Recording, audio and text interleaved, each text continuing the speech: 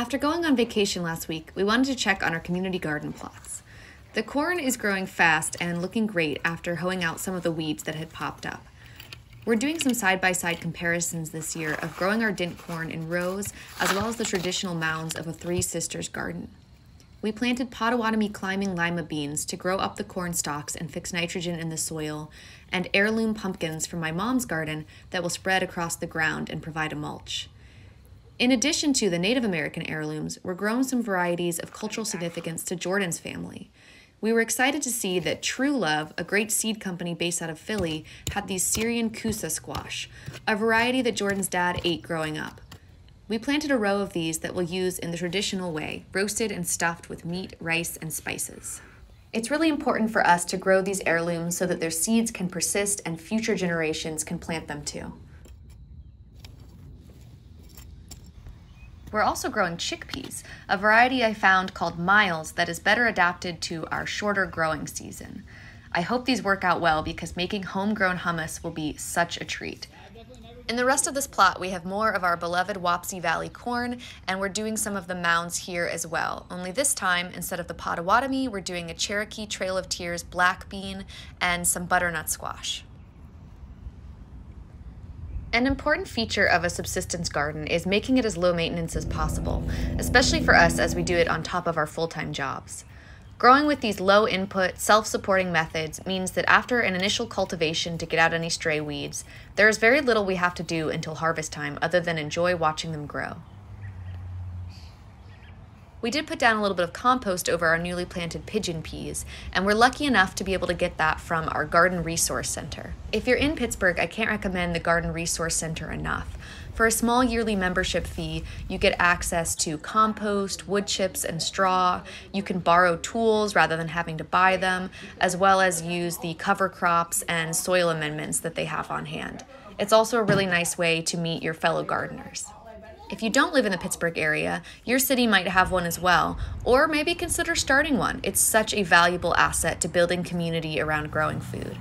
In our last two community garden plots, the beans are climbing quickly, going onto the trellis, and the wood chips are keeping the weeds down exactly how we wanted. Now you can probably already guess that we planted some pumpkins on the edges of the beds to spread throughout the paths, and in our other plot, the potatoes are popping up and looking great to be honest, we're feeling a little unsure about planting wheat and oats out here. They definitely aren't as productive per square foot as corn is, but it's fun to experiment and try new things sometimes, even if it's not absolutely the most efficient way to garden. Things are looking lush and lovely in the home garden as well, and we're happy that the corn is finally past the chipmunk danger phase, so now we just have a couple more things left to plant. This amaranth is a new crop for us, at least as a grain. We've grown it before for its delicious spinach-like greens, but these ones we're going to plant six inches apart and then thin to about a foot and a half to two feet apart so that it can grow the giant protein-rich seed heads that were used by the Aztecs as one of their five main staple crops.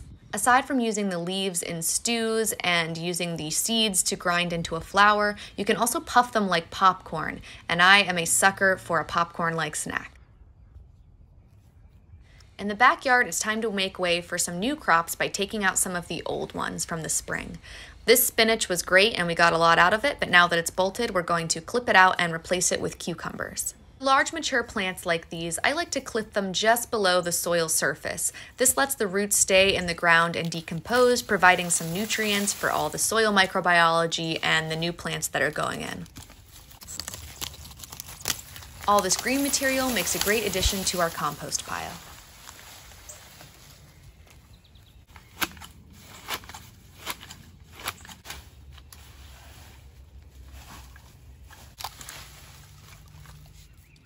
In place of the spinach, I put in some cucumber transplants for making pickles and some sesame that will hopefully go in our homegrown hummus. We also did a little harvesting. These are Alto leeks, which is a good variety for overwintering in our cold area. We also harvested the scapes off of our garlic. If you grow hardneck garlic, it's important to grab these little flower stalks before they mature as leaving them will reduce the size of your finished bulbs. Luckily, they're delicious. We usually use them to make pesto. And we grabbed some snap peas for a little after gardening snack. Our final gardening task for the weekend was checking on our honeybees. So we filled up the smoker with some old corn husks and opened it up.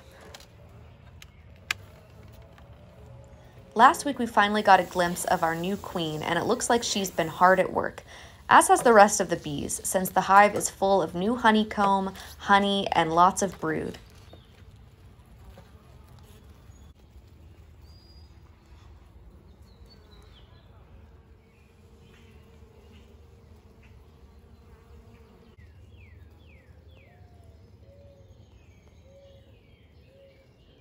Since there was a little bit of crosscomb forming on some of the frames that we had to clean up anyway, we got to taste some of the bees' honey. And I just gotta say, good job, bees, because it was delicious. Mm.